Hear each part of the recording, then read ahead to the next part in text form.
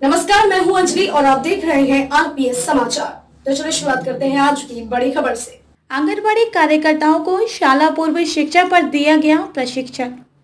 बाल विकास सेवा एवं पुष्ट आहार विभाग के तत्वाधान में वर्कशॉप इंडिया के सहयोग से सिकंदरपुर सरोसी सेक्टर की आंगनबाड़ी कार्यकर्ताओं के लिए शनिवार को शाला पूर्व शिक्षा विषय पर दो दिवसीय प्रशिक्षण कार्यक्रम आयोजित हुआ।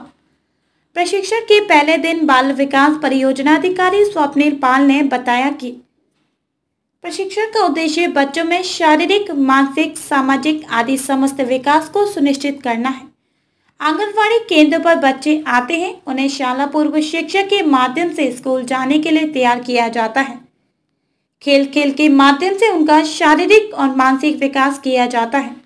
बाल विकास परियोजना अधिकारी ने कहा कि तीन से छह साल के बच्चों को शाला पूर्व शिक्षा दी जाती है। रंगों की पहचान, जानवरों की पहचान, सब्जियों, फलों की पहचान, अक्षरों को पहचानना, आकारों को पहचानना सहित अन्य बातों की जानकारी बच्चों को खेल खेल के माध्यम से दी जाती है। इससे बच्चे आसानी से मनोरंजक तरीके से सीख भी लेते हैं और उन्हें बोरियत भी नहीं होती है। इस मौके पर क्षेत्रीय मुख्य सेविका मंजुलता अठारह आंगनबाड़ी कार्यकर्ता और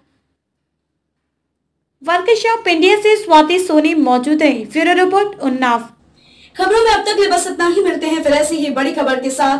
तब तक के लिए नमस्कार और देखते रहिए आरपीएस समाचार।